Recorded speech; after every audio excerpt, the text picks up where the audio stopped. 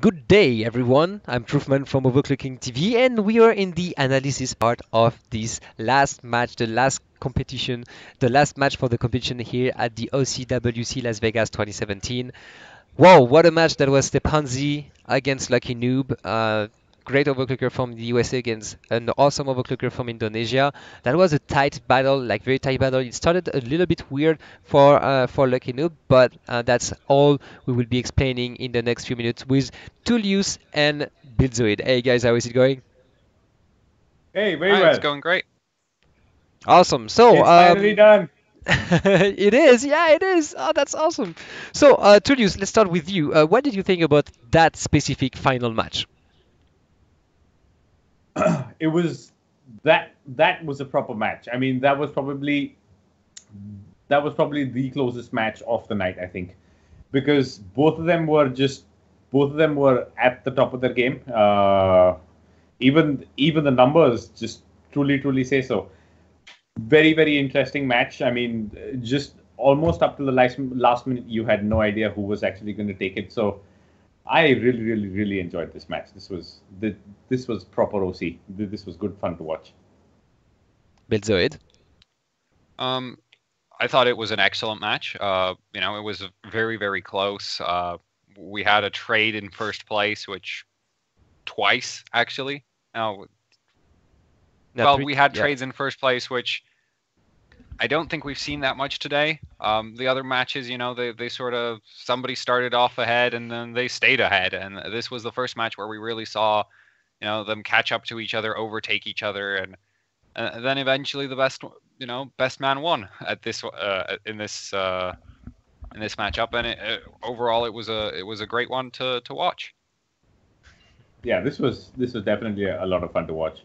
Um, both of them both of them started off also really really well. I mean, uh, they had they had they had runs also in really really early as far as I as as far as I caught. You know, Alva was up and running inside of like six minutes. Again, just you know, this is just showing what he's really really good at. And even uh, even Joe, I mean, he he took a couple of minutes longer, but came in really really strong. His first opening run was extremely strong. So yeah, I, I he I, I guess he, he just took his time getting you know his system set up the way he wanted to, and really really hit strong.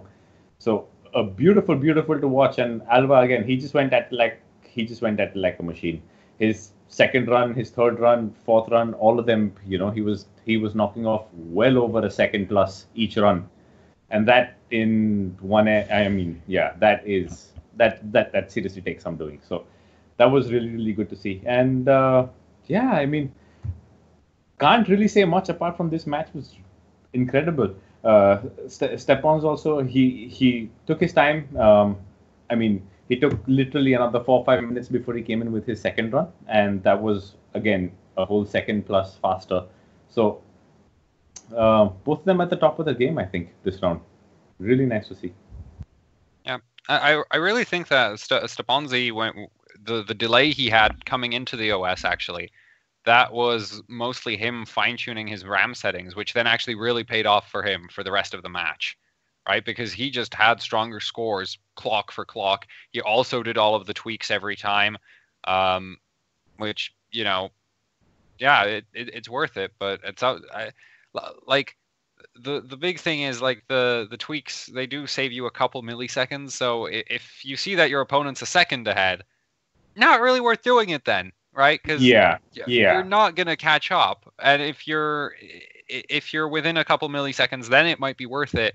But Steponzi after you know uh Lucky Noob managed to overtake him for a little bit and then Steponzi came back and then he just kept going. So at that point it just sort of turned like Lucky Noob really, really needed to get his memory settings dialed in, which he tried to do. We saw him Yeah. tweaking all of his memory timings, all of sub timings, but he didn't try to do that earlier in the day. And actually, Steponzi had uh, boot up issues earlier in the day, and it might have been because he was playing with a memory instead of actually caring about you know competing in that first round he was in, because he very well- opened up extremely strong held extremely strong. Then for like the middle of the match, he he was just sitting there and reboot looping for no no apparent reason, and then he came Yeah. back and actually had the system stable again towards the end of the match.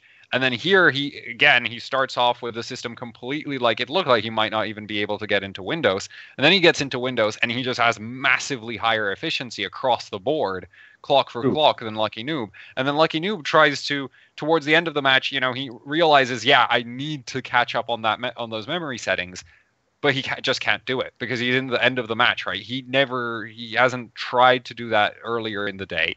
He hasn't really maxed out the memory any time earlier, and so, well, you know, Steponzi's strategy really paid off because he basically had the certainty: if I get into the OS with my good settings, I'm Yeah. gonna win, right? That's true. That's true. That's that's that's actually very true because even at like 6.3 gigahertz, you know, I they were they they were close, but Stepan's was faster. So he was definitely doing something something. He was definitely doing something right. And then um, even at even at uh, Alva's fastest time, which is uh, I think uh, one minute five, one three one, and that I mean I think he beat at pretty much the same frequency or maybe 100 megahertz more. So efficiency was right up there. Just yeah, Yeah. you're absolutely right on. Yeah. Yeah, And then Steponzi also was actually managing to push way higher clocks towards the end. I mean, he, he was doing six, he was trying to run 6.8 towards the end, whereas Lucky Noob, I don't think he ever went over 6.5 or 6.4. So, um, yeah. I mean, Yeah. Steponzi definitely had the better memory settings, but he also did have the benefit of a much stronger CPU towards the end. So, yeah. I mean, he had uh, his his run at one minute or two was I think 6.6 if I'm not mistaken or 6.7. Six yes, 6.6. Yeah. if I'm- yeah. Yeah, so he, he managed to get a higher CPU frequency out of that CPU as well as just overall stronger in pretty much everything uh as far as the as far as the system goes. Yeah, but I mean, there's you e- even when you look at the timings, you're honestly, I mean, sure, there's about half a second to a second's difference in terms of efficiency, but you're at the end of the day, it's just splitting hairs. It's it could be just a couple of tiny settings in the memory or just something like that, which could you know account for Yeah. the differences we're seeing here. So, yeah, it's just or even the OS, you know, just you have Yeah. a good fast run. Yeah. But all in all, very interesting match to see. Yes.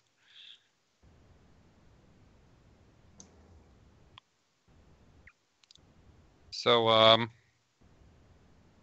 Um, hmm. What's going on in the chat?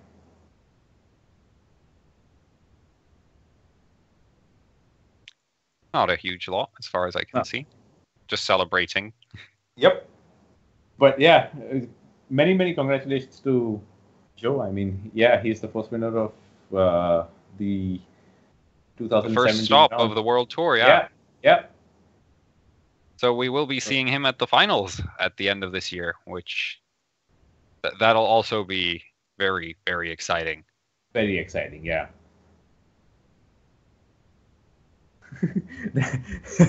Dan Crop say, should I help you guys out? More than welcome, bro. Would be great. Come on over. Uh, yeah, I mean, what else? What else? What else? What else can we can we point out ab- ab- about that round?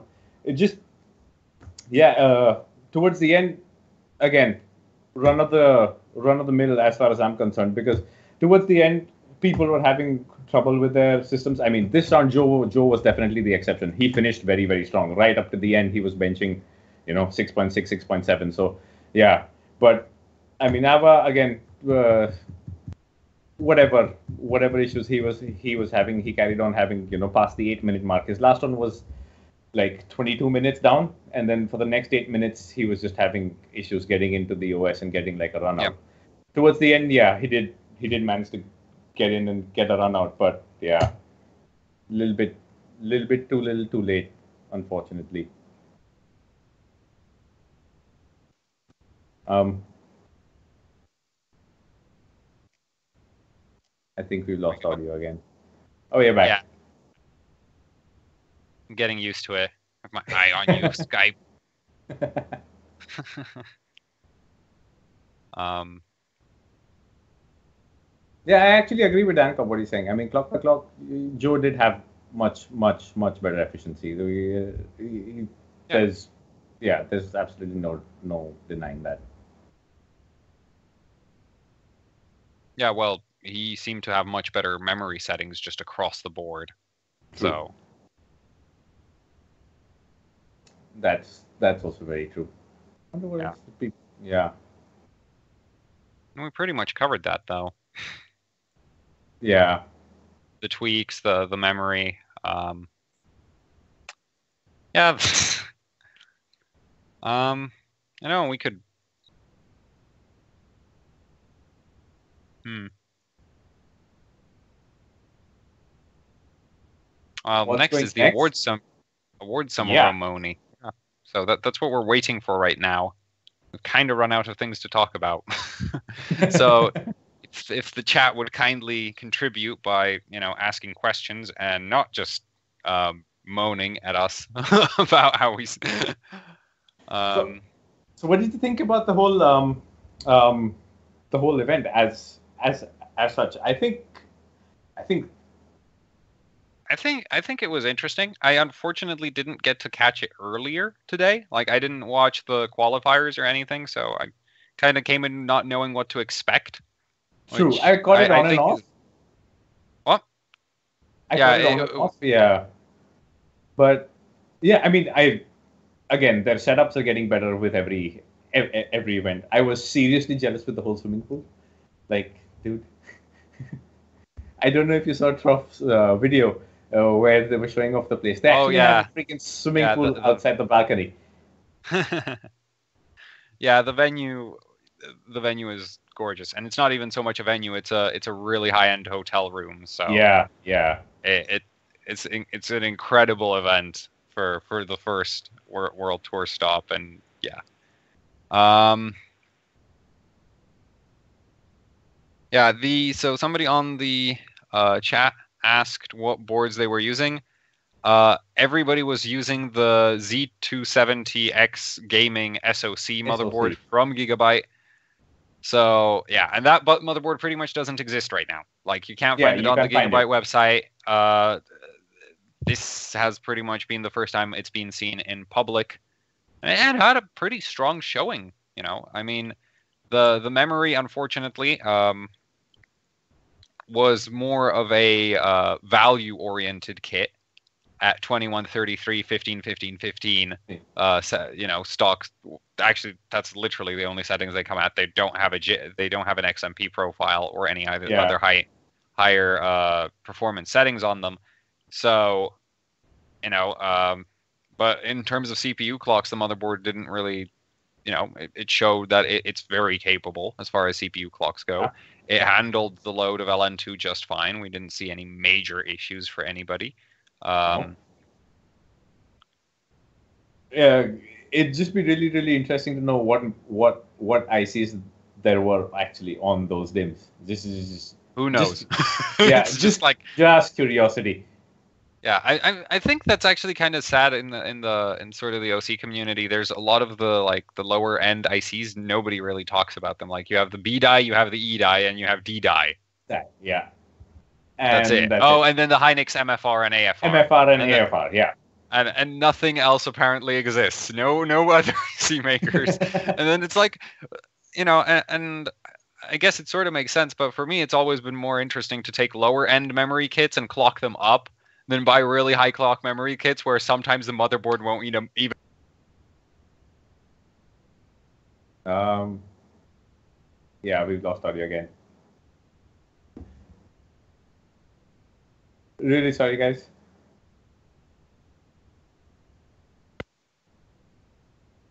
skype skype skype skype why do you keep doing this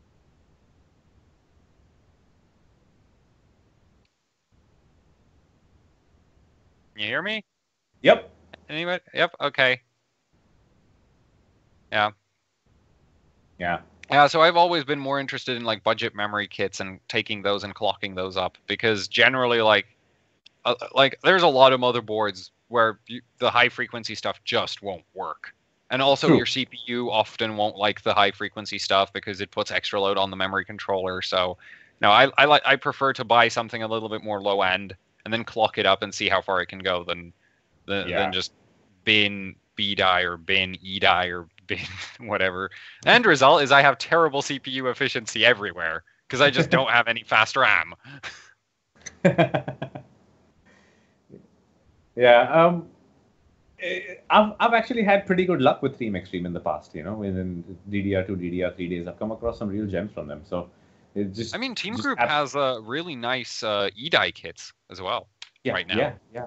that are uh, available. It's just like you know you have your high performance kits from each brand, and you have your you know I need RAM that that works kits from each brand. Yeah, yeah. So and even then, twenty one thirty three doing thirty four sixty six is actually Not pretty impressive. Yeah, it is pretty yeah because I remember there are other kits which might be rated for like twenty four hundred. And they won't go a lick above 2400 very true. very because true. they It's- lose stability, they don't scale with voltage, they, they have terrible motherboard support as well. That that's another Yeah. thing. It's just on some Yeah. motherboards you stick a kit of RAM in SPDs it, are just hell. Yeah, it's Yeah. comple- completely a complete disaster. So actually, a pretty strong showing from a you know value oriented memory kit. Yeah, I Um, would think so. Again. Yeah. um, so Dancop's Dan Cobb's gonna go to bed. okay. Thank you. Thank you for joining us. Um, Mm, well, 1080 Ti.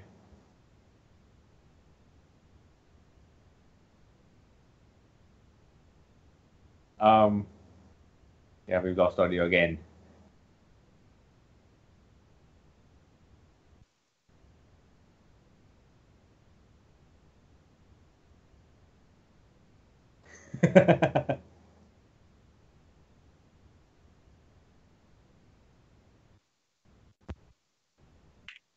uh, I'm back. Yep. Mostly. Okay, I can still hear you. You know, the funny thing is, even my mouse starts dropping out now.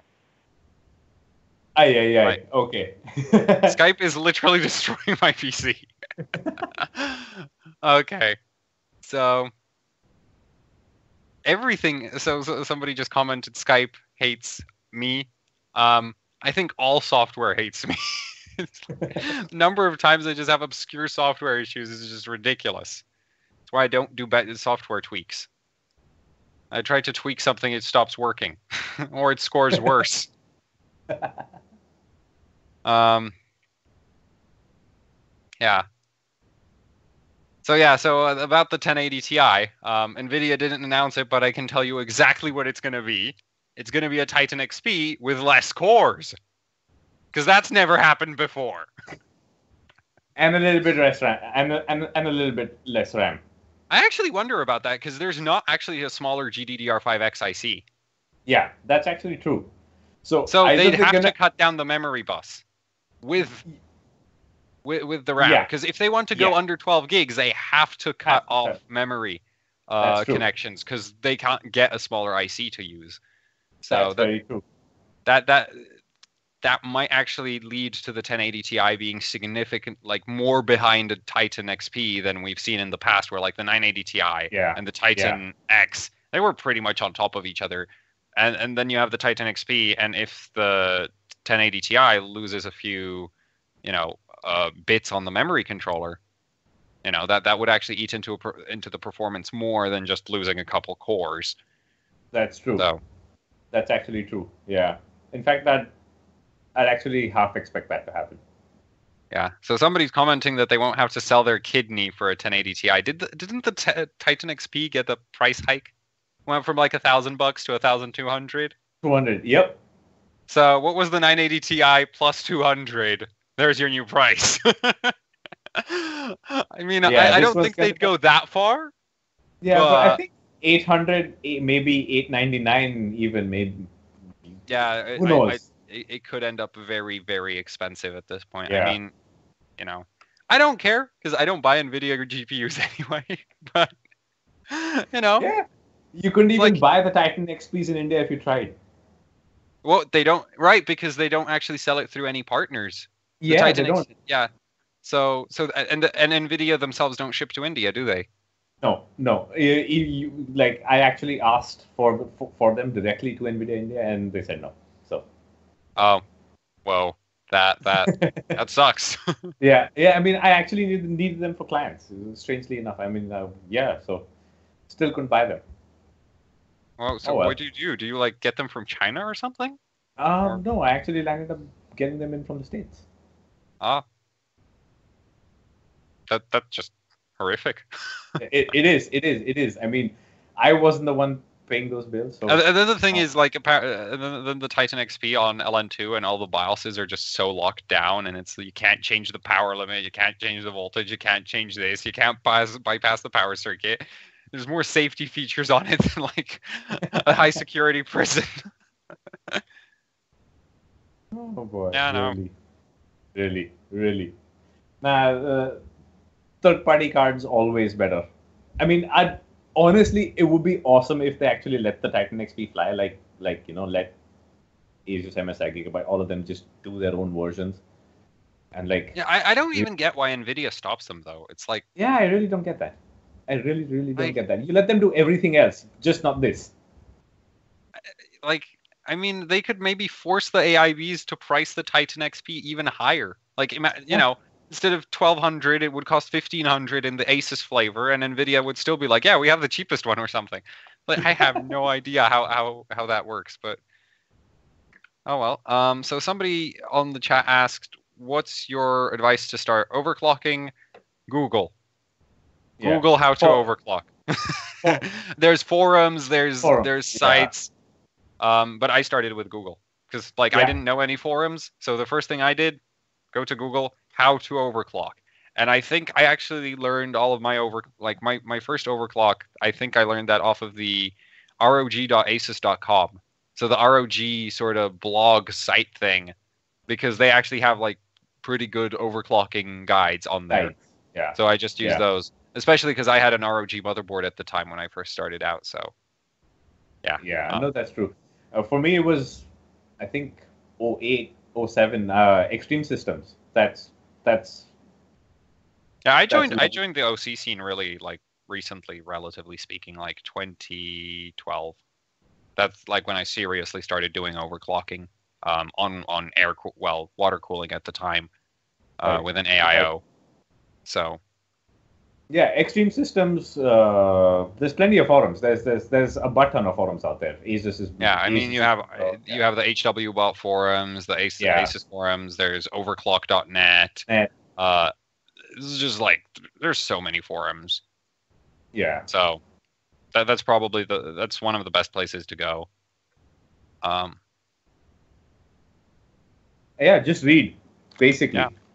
Yeah, you just got to do a lot of reading. It's gonna be yeah, it's gonna be your gear at the end of the day, so you don't want to land up killing it, you know. So read, read before you jump in, but do jump in. It's fun. Yep. yeah.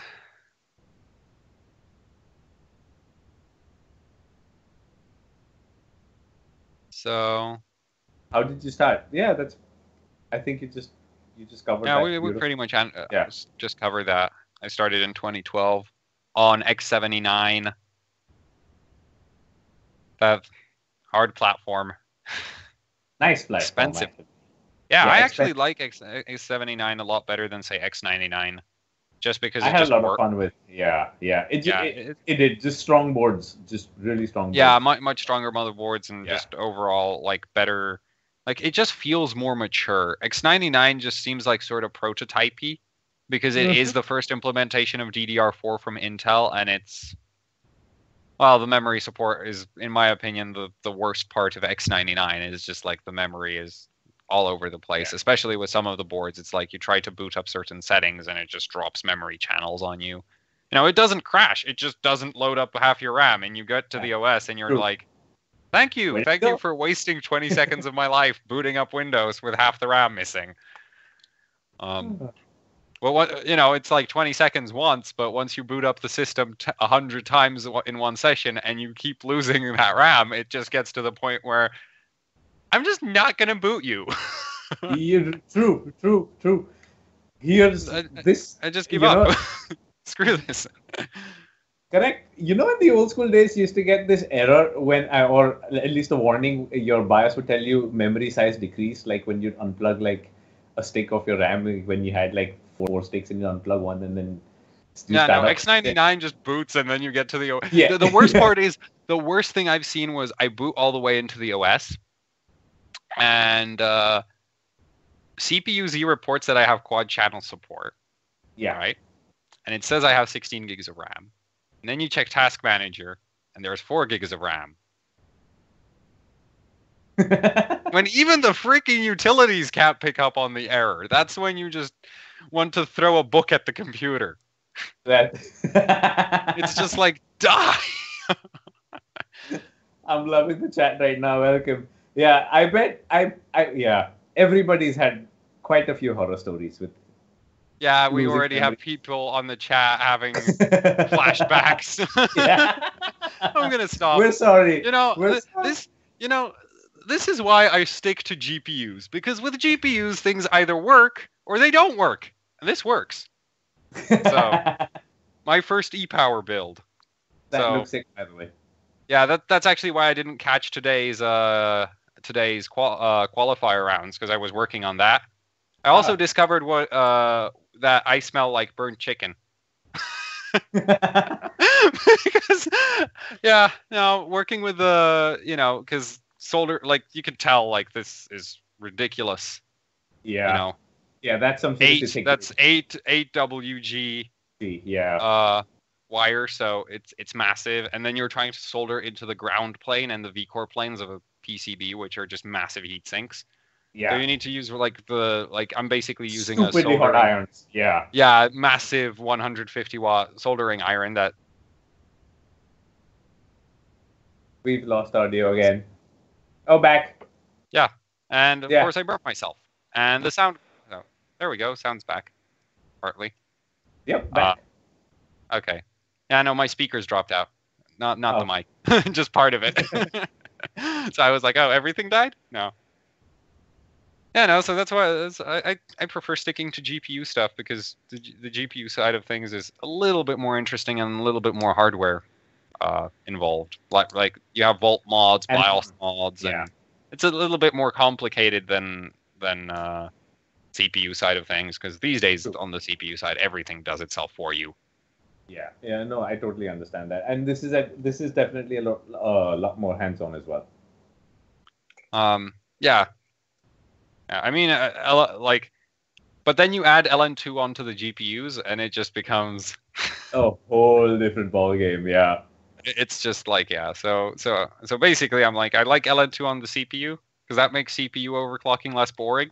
But LN2 on the GPU is just like shooting yourself in the foot. yeah. Tell me about it. Really, really, really, really difficult, and, and with the pots and just getting the mounting right, and then GPU power consumption is just ridiculous. Yeah, yeah, that's absolutely true. I mean, uh, I was I I was benching the 980 Ti with Hassan recently here when he was here, and oh boy, oh boy, my 1300 wouldn't keep up with with like the 10 core and the 980 Ti. It, I was triggering OCP on my 1300, so yeah, those those those things can get seriously demanding in a hurry. Yeah. I actually managed to trip OCP on uh the I have a 1600 watt EVGA power supply here. yeah, yeah, yeah. G2. I tripped OCP on that Hi. three Fury X's on water. Not even LN2, just three Fury Uh, X's water cooling tripping OCP all over the place because the, Unreal. the the cards just like GPUs just chug power. Dog power. Yeah, they Yeah. They really. and, and and it's like everybody's like, oh yeah, 14 nanometer, it's better. Uh, well, I guess on Nvidia's side it is better because you can't remove the power limit. But on the AMD side, on the AMD side, you know, you have the RX 480, which is a 150 watt GPU. Then you unlock the power limit, and it'll happily pull 300 or 400 or 500. It, yeah, just yeah. pull as much as you give it, and it'll just keep going and going and going. So I, I'm actually super excited for for Vega from AMD Yeah, me too. Me too. because. HBM2, 14 nanometer GloFo process. It's supposed to be a bit refined, but the cool thing about GloFo 14 nanometer is, is really good with cold. Like it scales. yeah. It scales with Yeah. voltage. It scales with temperatures. Uh, it doesn't really complain about much. It, you can get cards with no s- uh, no cold bug. I have one here which I ran at like minus.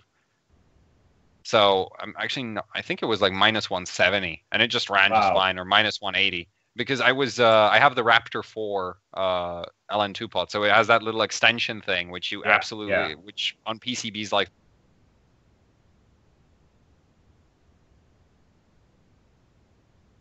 The audio's gone again.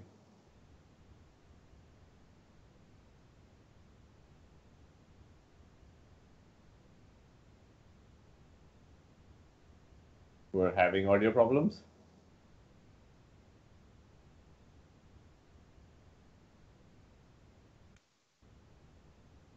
Found it, caught it. Yeah.